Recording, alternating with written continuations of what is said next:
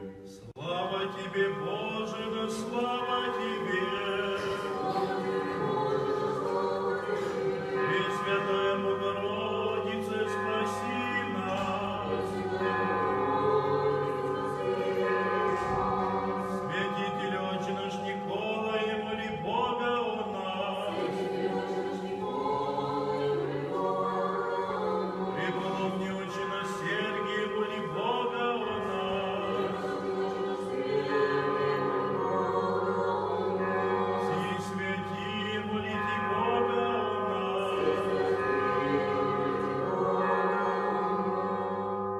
Во имя Отца и Сына и Святого Духа.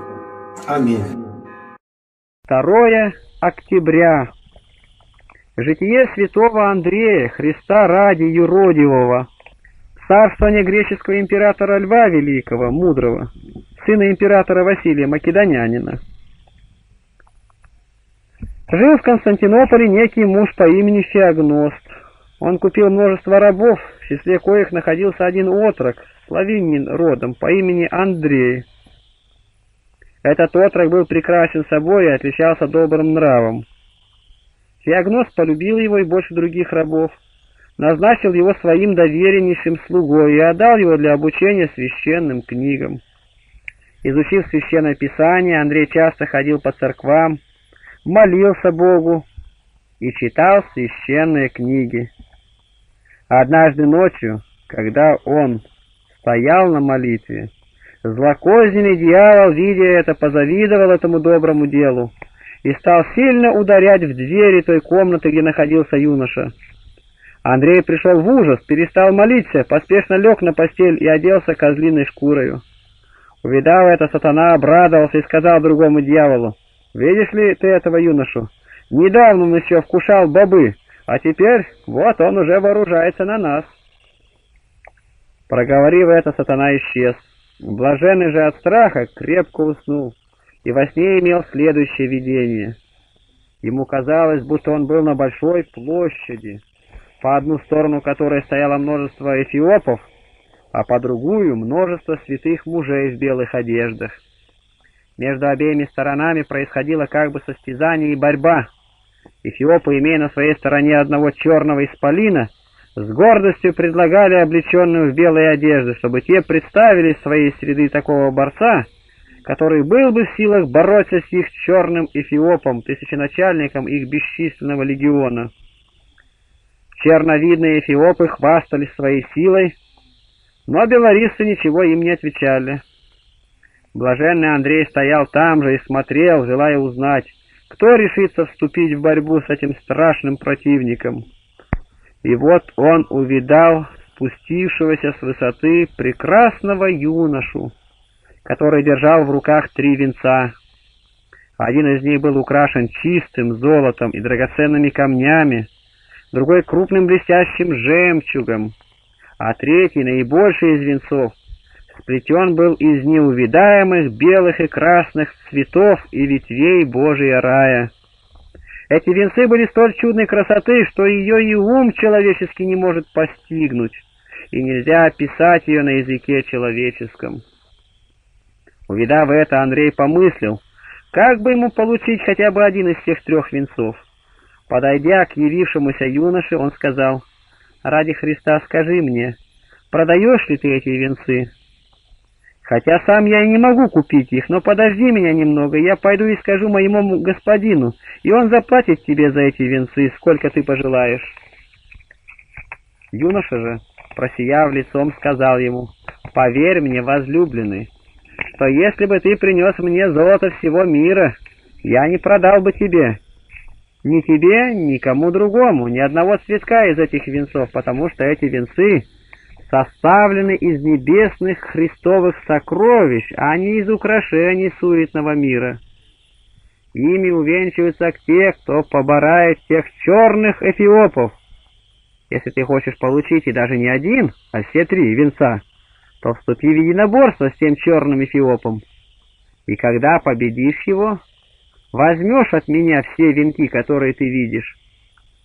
Услышав это, Андрей исполнился решимости и сказал юноше, «Поверь мне, что я сделаю сказанное тобой, только научи меня хитростям его».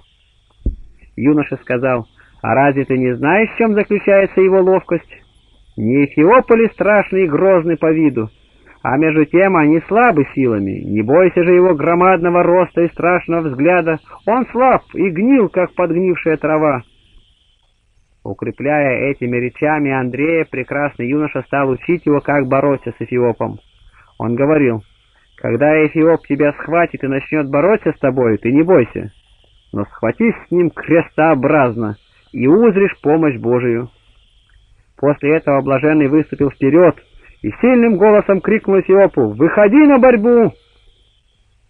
Устрашая и грозя, Эфиоп подошел, схватил Андрея и в продолжении весьма долгого времени переворачивал Андрея то в ту, то в другую сторону. Эфиопы стали рукоплескать, а одетые в белые ризы как будто побледнели, потому что они боялись, как бы этот Эфиоп не ударил Андрея о землю. Андрей был уже одолеваем Эфиопом, но, оправившись, крестообразно устремился на него. Бес рухнул, как громадное подрубленное дерево, и при падении ударился лбом о камень и закричал «Горе! Горе!». Одетые же светлые одежды пришли в великую радость. Они подняли Андрея на своих руках кверху, стали лобызать его и торжествовали его победу над Эфиопом.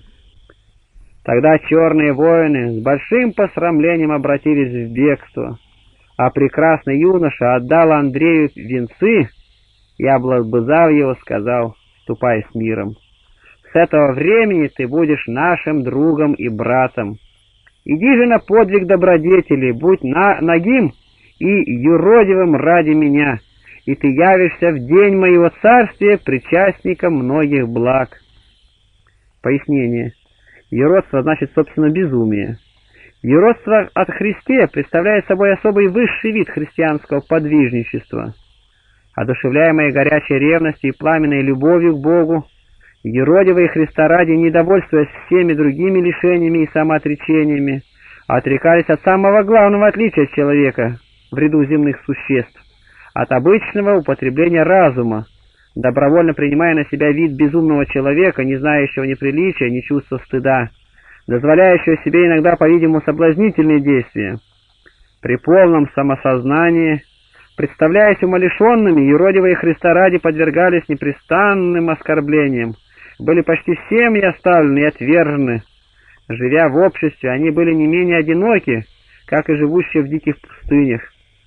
Отказавшись совершенно от всякой собственности, от всех удобств и благ жизни, свободные от всяких привязанностей к земному, не имея определенного пристанища и подвергаясь всем случайностям бесприютной жизни.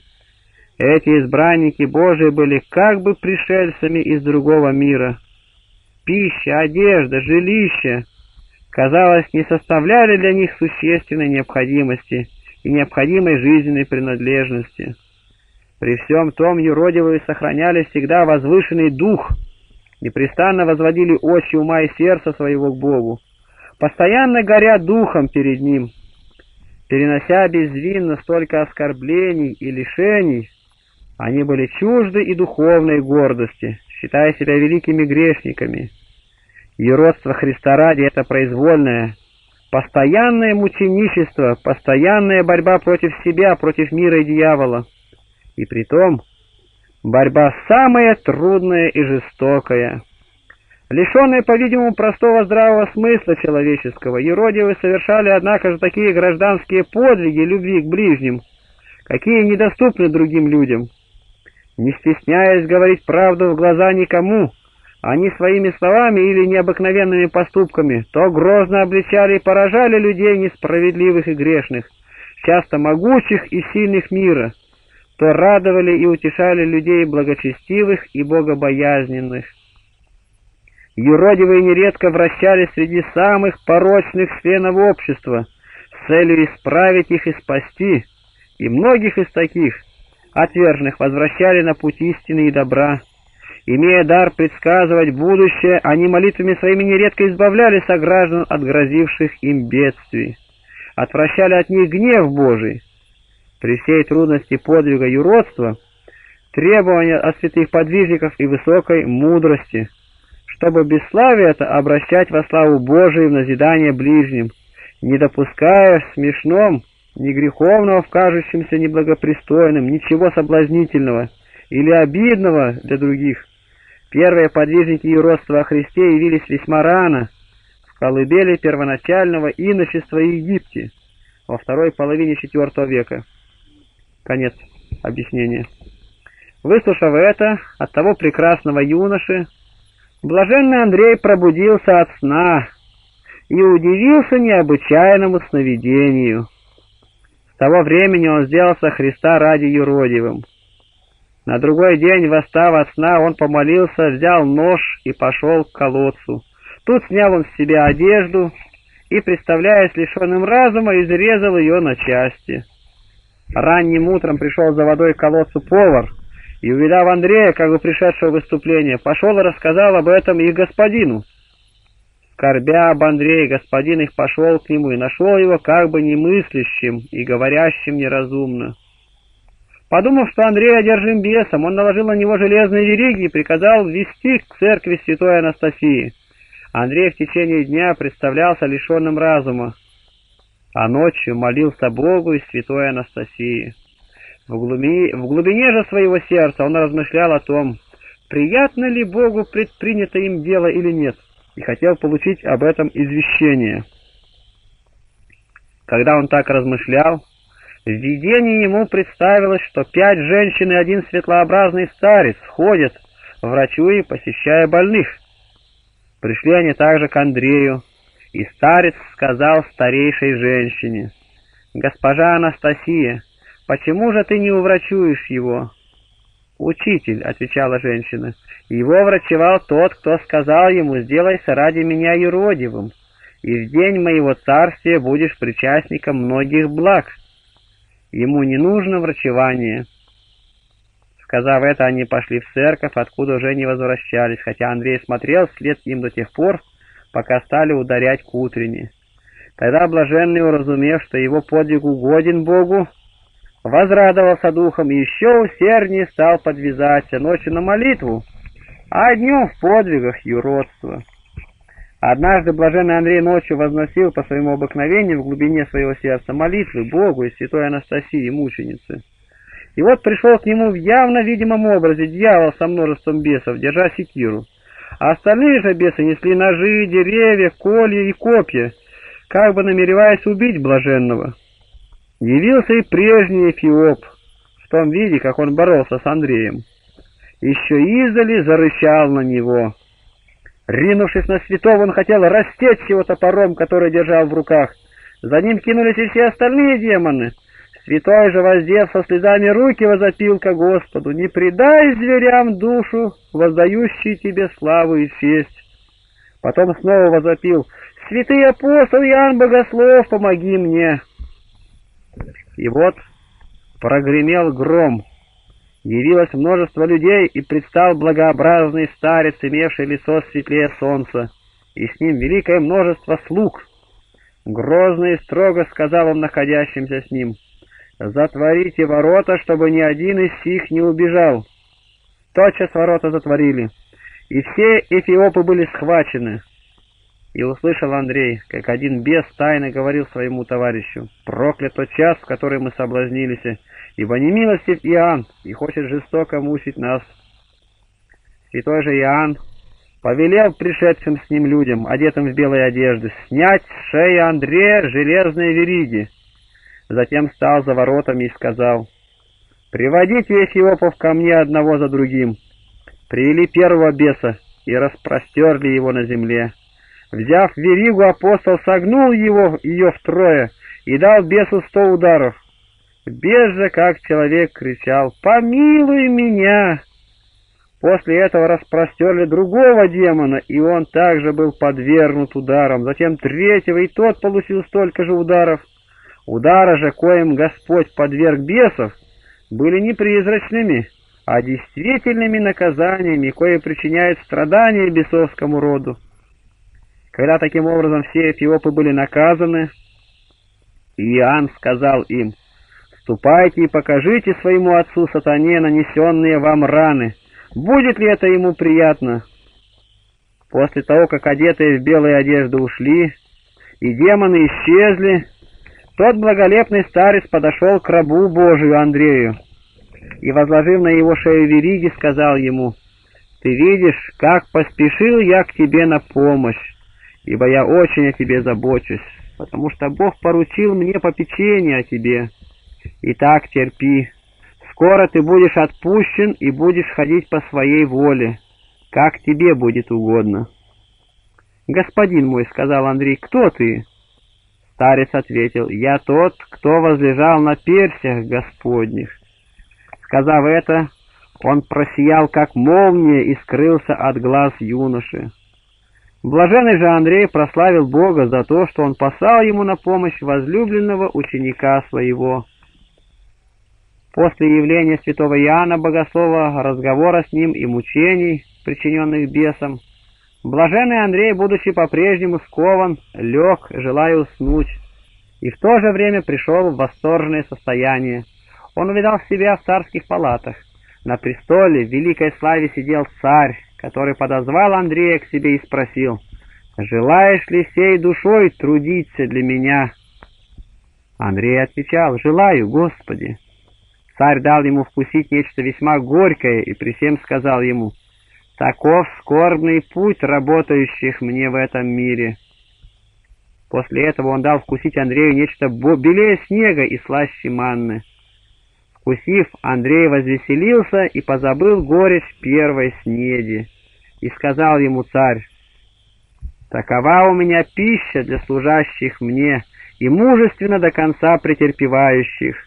И ты мужественно соверши свой подвиг, как начал» ибо перенесший в этой жизни немного страданий, ты будешь вечно пребывать в жизни нескончаемой. Пробудившись от сна, Андрей пришел к мысли, что виденная им первая пища, горькая, прообразует терпение в здешнем мире, а последняя, сладкая, — жизнь вечную. После этого господин Андрей в продолжении четырех месяцев держал его при себе, а затем отпустил на свободу. Притворяясь лишенным разума, Андрей стал бегать по улицам. Он ходил по городу, лишения, скорбя, озлобления, которых не был достоин весь мир. Одни надругались над ним, как над безумным, другие прогоняли его от себя, гнушаясь им, как псом смердящим.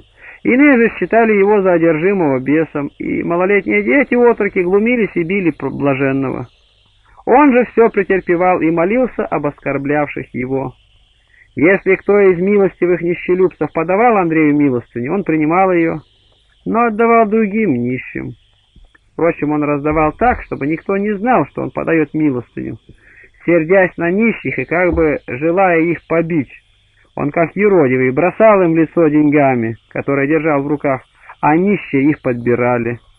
Иногда по трое суток не вкушал он хлеба, иногда же голодал и целую неделю. А если не находилось никого, кто подал бы ему ломоть хлеба, то он проводил без пищи и вторую неделю. Одежда Андрея служила никуда не годное рубище, едва прикрывавшее телесную его наготу. Уподобляясь во всем святому Симеону Христа ради юродивому, он днем бегал по улицам, а ночью пребывал в молитве. Живя в столь обширном городе среди многочисленного населения, он не имел где главы преклонить.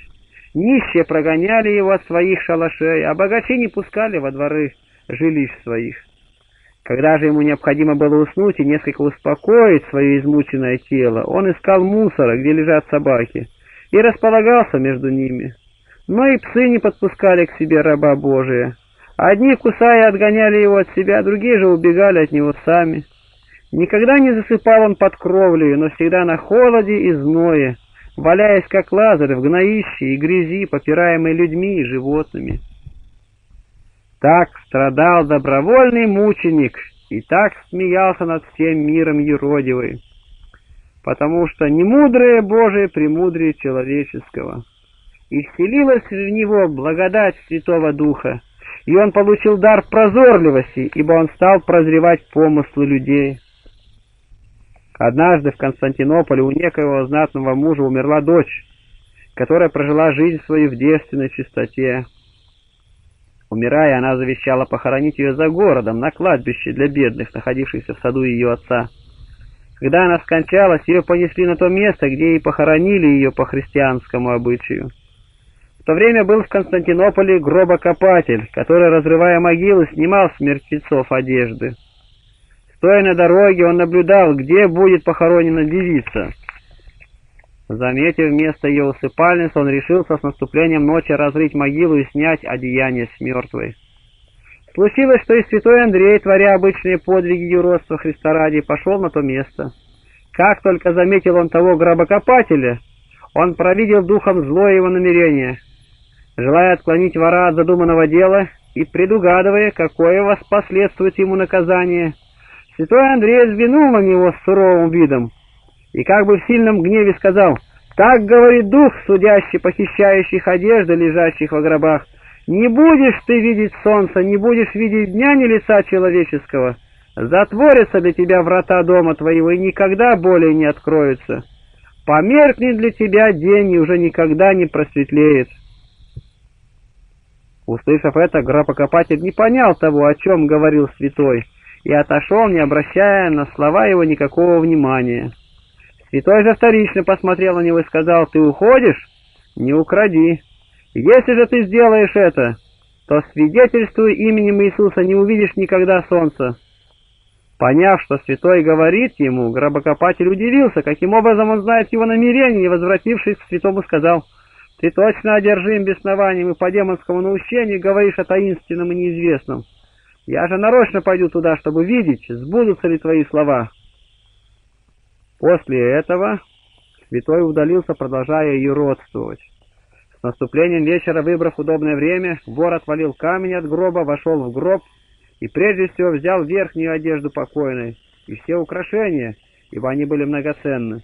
Взяв это, он намеревался удалиться, но какой-то внутренний голос подсказал ему «Сними рубашку, ведь она хороша». Сняв рубашку из девицы, гробокопатель хотел выйти из могилы. Мертвая же девица, по повелению Божию, подняла свою правую руку и ударила гробокопателя по лицу, и он тотчас ослеп. Ужаснулся тогда несчастный и затрепетал, так что от страха стали сокрушаться челюсти его, зубы, колено и все кости. Умершая же девица отверзла уста свои и сказала, «Несчастный и отверженный человек, ты не побоялся Бога, не подумал того, что и ты человек. Тебе бы следовало постыдиться девической ноготы, Тебя довольно уже взятого тобой, и хотя бы рубашку ты оставил моему обнаженному телу. Но ты меня не помиловал и жестоко поступил со мною, задумав сделать меня посмешищем перед всеми святыми девами в день второго пришествия Господня. Но теперь я поступлю с тобою так, что ты никогда не будешь больше воровать, дабы тебе было известно, что жив Господь Бог Иисус Христос, и что по смерти есть суд, воздаяние и наказание. Проговорив эти слова, девица встала, взяла свою рубашку, облеклась в нее и, возложивши на себя все одежды и украшения, легла и сказала, «Ты, Господи, един, на упование вселил Мессии». С этими словами она снова почила в мире а тот, отверженный, едва имел силы выйти из гроба и найти ограду сада. Хватаясь руками то за одну, то за другую стену ограды, он вышел на ближайшую дорогу и побрел к городским воротам. Расспрашивавшим о причине его слепоты, он рассказывал совсем не то, что было в действительности, но впоследствии, рассказав все, что случилось с ним одному своему брату, с тех пор он стал просить себе милостыни и таким образом снискивал себе пропитание. И часто он говорил себе, «Будь проклята гортань моя, ибо из-за тебя постигла меня слепота». Вспоминал он также и святого Андрея и удивлялся, как все исполнилось согласно провиденному и предреченному святым. Однажды, хотя по городу, святой Андрей увидал, что навстречу ему несут покойника — Умерший был очень богатый человек, и за его гробом шло великое множество народа со свечами и кадильницами. Церковнослужители пели обычные погребальные песнопения, а родные и близкие покойника плакали и рыдали. Видя своими прозорливыми очами, что делалось с тем мертвецом, святой остановился и стал смотреть. И вот, впав на долгое время в совершенное бесчувствие, он увидел духовными очами множество эфиопов, шедших за гробом и громко кричавших «Горе ему! Горе ему!». Один из них одни держали в руках мешки, из которых рассыпали пепел на людей, окружавших мертвеца. Другие же бесы плясали и бесстыдно смеялись, как бесстыдные блудницы. Третьи лаяли, как собаки, а иные еще хрюкали, как свиньи. Мертвец был для них предметом радости и веселья. Некоторые из бесов, окружая мертвеца, кропили его смрадной водою, иные летали по воздуху около одра, на котором лежал мертвец. От трупа же умершего грешника исходил удушливый смрад. Идя следом, следом за мертвым, бесы рукоплескали и производили ужасный топот ногами, ругаясь над поющими и говоря — Пусть Бог не сдаст никому из вас видеть свет, жалкие христиане, ибо вы воспеваете над псом со святыми упокой душу его, и при этом вы называете его, причастно всяческому злу, рабом Божиим. Взглянув вторично, Андрей увидел, что один из бесовских князей пламенным взором шел к гробу того отверженного со смолой и серой, чтобы сжечь его тело. Когда же совершился обряд погребения, святой Андрей увидал ангела, шедшего во образе прекрасного юноши и плакавшего горькими слезами. Проходя мимо, ангел приблизился к святому Андрею. Последний, подумав, что этот юноша один из ближних умершего, и потому так плачет, подошел к нему и сказал, «Прошу тебя именем Бога небеса и земли, скажи, что за причины твоего плача?» ибо никогда и никого не видел я столь горько плачущим об умершем, как ты. Ангел отвечал, вот почему я проливаю слезы. Я был представлен для хранения к покойному, коего ты видел, когда его несли в могилу. Но его взял к себе дьявол. Это и есть причина моего плача и печали. На это святой сказал ему, «Я теперь понял, кто ты, молю тебя, святой ангел, Расскажи мне, что за грехи были у покойного, из-за коих захватил его в свои руки дьявол. Андрей, избранник Божий, отвечал ангел. Так как ты желаешь узнать об этом, то я расскажу тебе, ничего не скрывая. Я вижу красоту святой души твоей, светящуюся наподобие чистого золота. Увидев тебя, несколько утешился. В моей скорби этот человек был в великом почете у царя, но он был страшный грешник и вел преступную жизнь. Он был и блудником, и прелюбодеем, зараженным садомским грехом, льстецом, немилосердным, сребролюбцем, лжецом и человеконенавистником, злопамятным, мздоимцем и клятвопреступником. Свою бедную челядь он морил голодом, побоями и наготою, оставляя ее в зимнее время без обуви и одежды. Многих рабов он даже убил и закопал их под полом конюшен. Одержимый ненавистной Богу похотью, он осквернил до трехсот душ мерзкими отвратительными грехами блудодеяния. Но и для него пришло время жатвы, и застала его смерть непокаявшимся и имеющим несказанные грехи. Душу его взяли бесы, а отвратительное тело его ты и сам видел, злые духи провожали с поруганием. Вот почему, святая душа, тужу я. Одержимый глубокой скорбью я плачу, потому что охраняемый мною ныне стал посмешищем демонов. На эти слова ангела Божия святой сказал, «Умоляю тебя, друг, прекрати этот плач. Умерший поступал дурно, посему и скончался без покаяния. Пусть же он насыщается плодами дел своих. Ты же, пламеннообразный, исполнен всяческих добродетелей, слуга Вседержителя Господа, Саваофа, отныне вовеки будешь под благодати Бога твоего». После этих слов ангел невидимо удалился от Андрея. Мимо проходящие по своему недостоинству не могли видеть ангела и думали, что святой разговаривает сам с собой и говорили друг другу. Посмотрите на этого юродивого, как он потешается и бессмысленно разговаривает со стеной. При этом они толкали его и отгоняли, говоря, «Что тебе нужно, юродивый? Недостойный беседовать с людьми, ты разговариваешь со стеной?»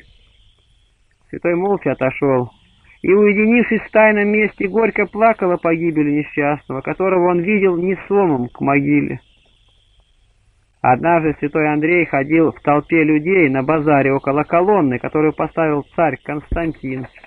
Некая женщина по имени Варвара, будучи просвещена Святым Духом, с ужасом увидала в толпе блаженного Андрея, блистающим наподобие пламенного солнца, столпа. При этом некоторые неразумные толкали его, а другие били. Многие же, глядя на него, говорили, «Сей человек безумен, погубил свой рассудок». Да не случится сие и с недругами нашими. Бесы же, ходя за святым Андреем в образе черных эфиопов, говорили, «О, если бы Бог не посылал на землю другого подобного этому, ибо никто не иссушал сердец наших так, как этот человек, который, не желая работы для своего господина, притворился юродивым и насмехается над всем миром». И видела та женщина, что эфиопы отмечали бьющих святого и говорили между собою, нам приятно, что они безрассудно его бьют, ибо за истязание невинного угодника Божия они будут осуждены в смертный час свой, и нет для них спасения. Услыхав это, блаженный по внушению Духа Божия, устремился на них, как пламень, уничтожил дивные силы знамения бесов и, гневаясь на них, сказал, «Вы не должны отмечать бьющих меня, ибо я молюсь владыке моему, да не вменит им обо грехи, нанесение мне побоев. Они делают это по неведению, и ради неведения своего получат прощение. Когда святой говорил это, внезапно отверзлось, подобно вратам неба, и оттуда опустилось на святым множество прекраснейших ласточек, а посередине их большой белоснежный голубь, державший в своем клюве золотой масличный лист. И сказал голубь святому человеческим языком, «Возьми лист сей, его прислал тебе из рая Господь Вседержитель, в знамение своего к тебе благоволения, ибо ты милуешь и прощаешь наносящих тебе побои, и молишься за них, чтобы это не вменилось им во грех». С этими словами голубь опустился на голову святого. Видя все это, благочестивая женщина удивлялась и, придя в себя после видения, говорила — Сколько светильников имеет Бог на земле, и никто их не знает. Много раз намеревалась она рассказать о своем видении другим, но сила Божья удерживала ее.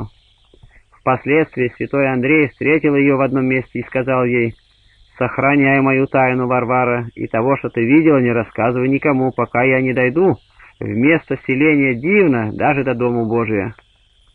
«Честный светильник и святые Божии», — отвечала Варвара, — если бы я и захотела кому рассказать свое видение, то не могу, ибо невидимая Божья сила меня удерживает.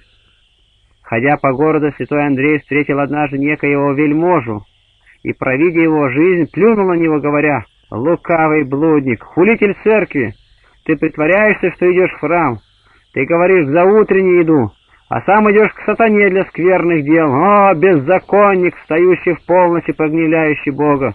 Уже наступило время восприятия по делам твоим.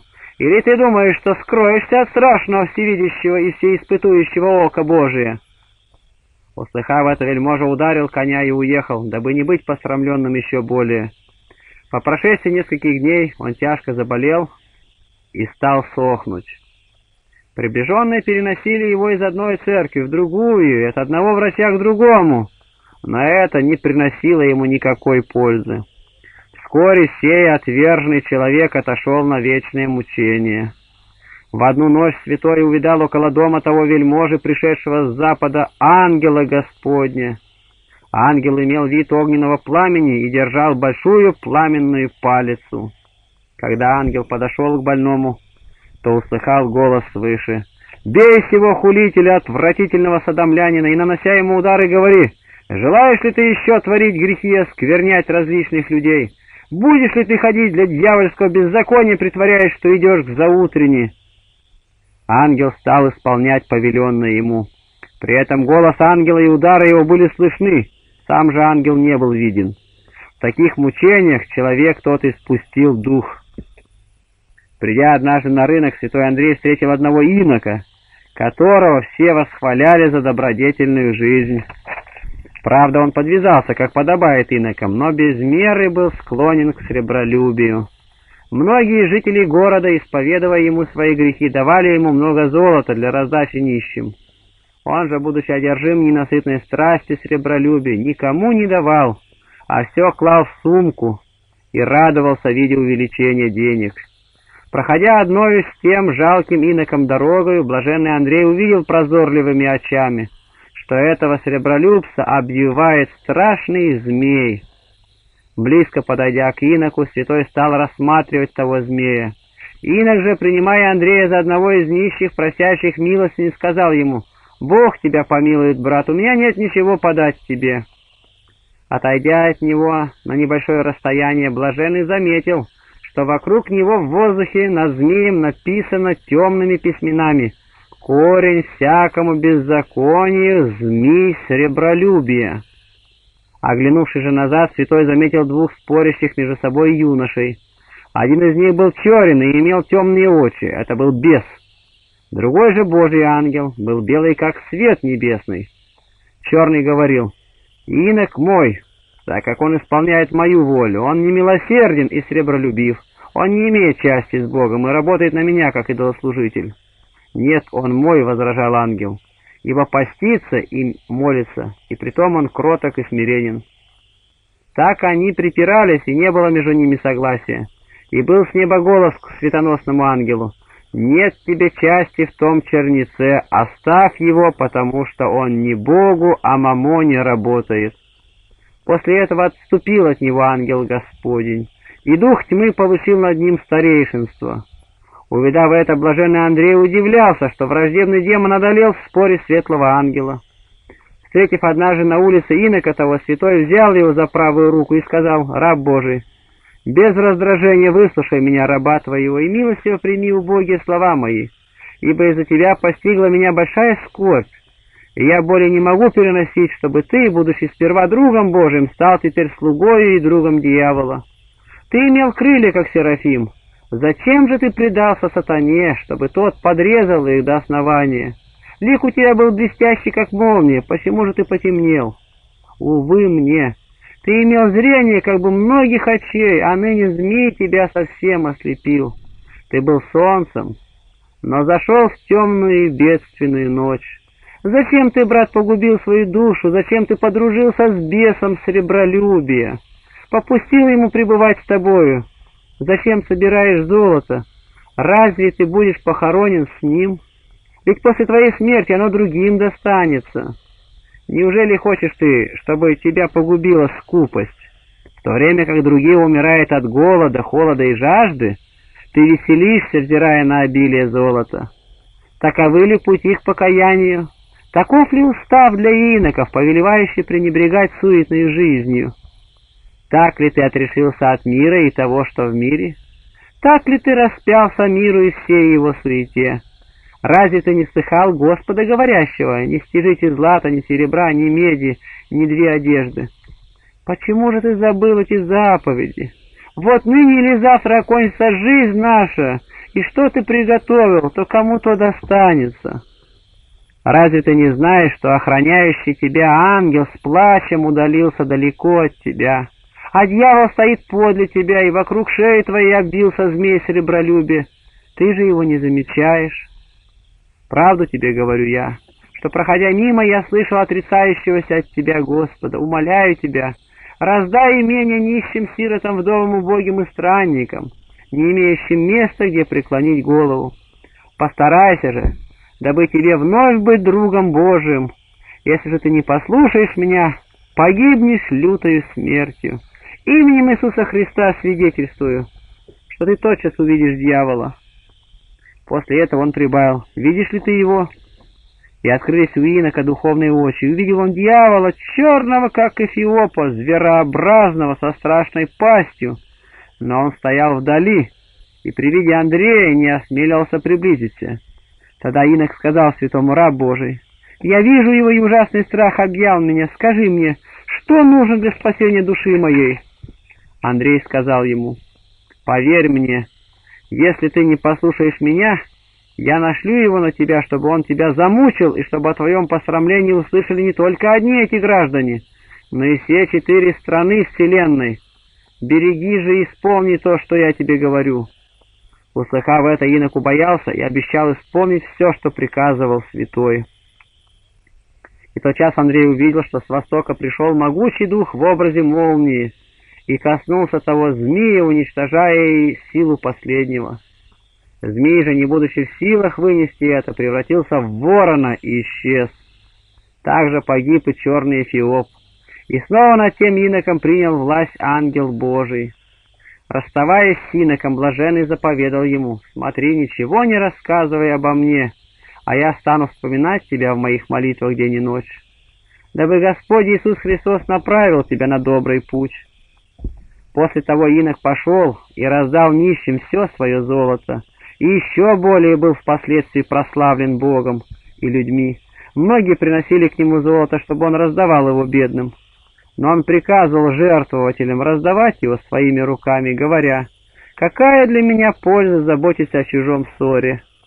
В то время, когда он жил так, как подобает иноку, с радостным лицом в видении явился ему святой Андрей, показал ему на поле светлое дерево, имеющее цвет сладкого плода, и сказал, «Возблагодари Бога, Отче, за то, что Он исторг тебя из пасти змея, и соделал твою душу подобной светоносному дереву. Постарайся же сей свет обратить в плод сладкий. Сие прекрасное дерево, которое ты видишь, есть изображение твоей души. Придя в себя, инок еще более окреп в духовном делании и всегда приносил благодарение Богу и угоднику его Андрею, наставившему его на путь спасения. Святой Андрей так благогодил Богу и столь возлюбил его Господь, что однажды он был, подобно апостолу Павлу, восхищен до третьего неба, и слышал там неизреченные глаголы, и созерцал незримые для смертного красоты рая. А всем поведал он сам перед своей кончиной верному своему другу Никифору. Раз как-то случилась суровая зима, и в Константинополе в продолжении целых двух недель стоял сильный мороз — все жилища были занесены снегом. От бури ломались деревья, и птицы падали мертвыми на землю, не находя себе пищи. Тогда все бедняки и нищие были в сильной скорби и утеснении. Стеная, плача и дрожа от стужи, они умирали вследствие лишений, голода и холода.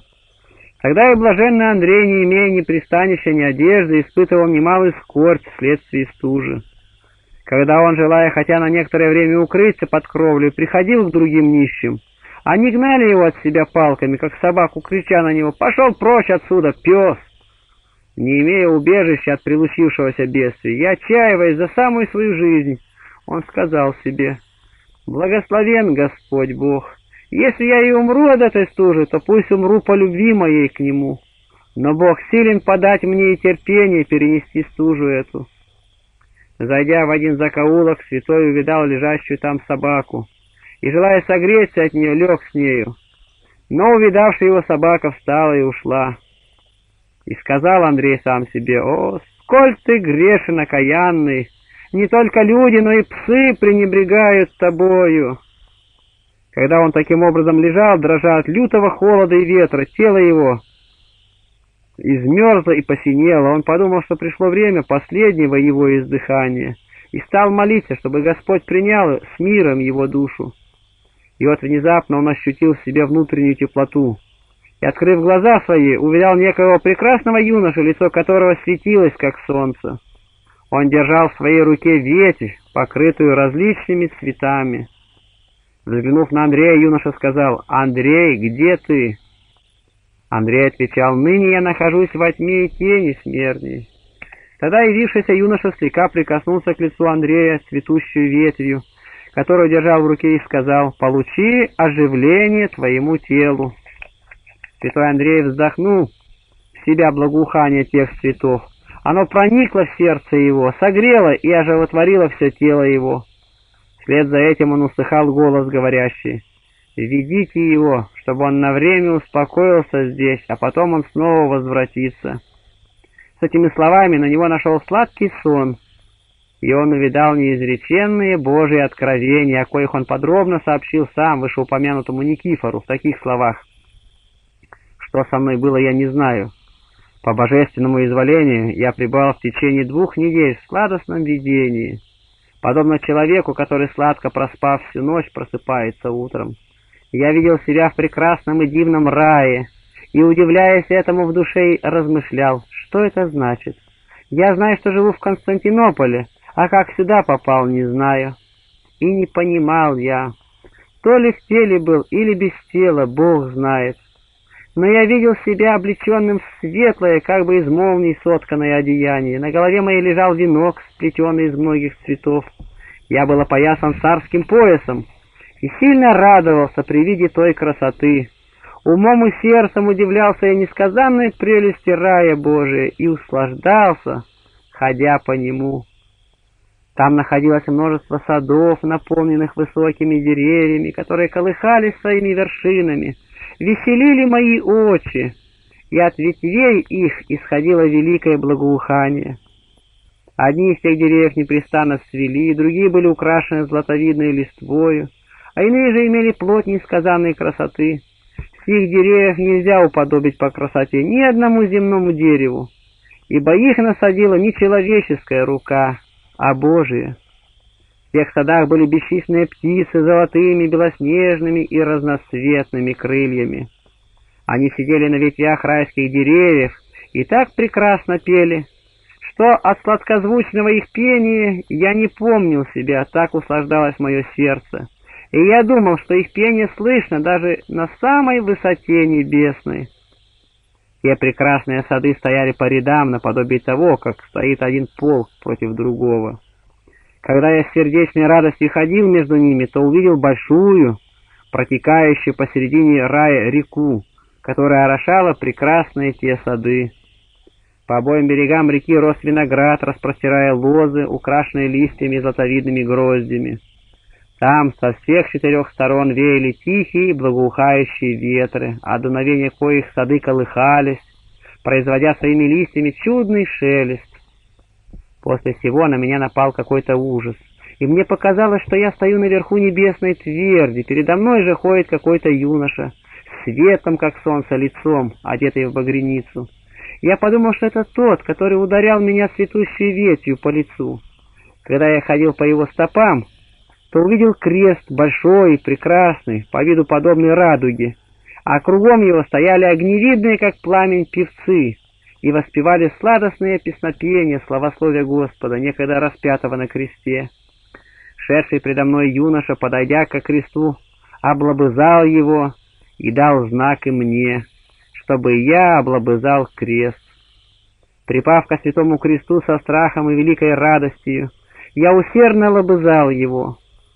Лобызая его, я исполнился несказанной духовной сладости и обонял благоухание сильнее райского.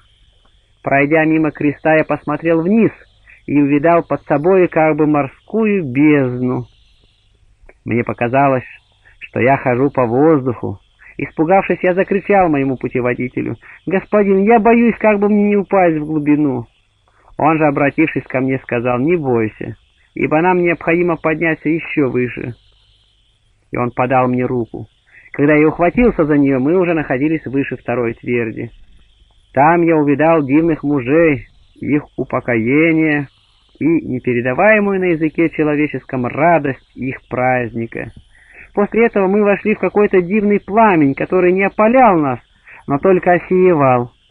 Я стал ужасаться, и снова мой путеводитель, обернувшись, подал мне руку и сказал — нам следует подняться еще выше. И вот после этих слов мы поднялись выше третьего неба, где я видел и слышал множество сил небесных, воспевающих и славословящих Бога.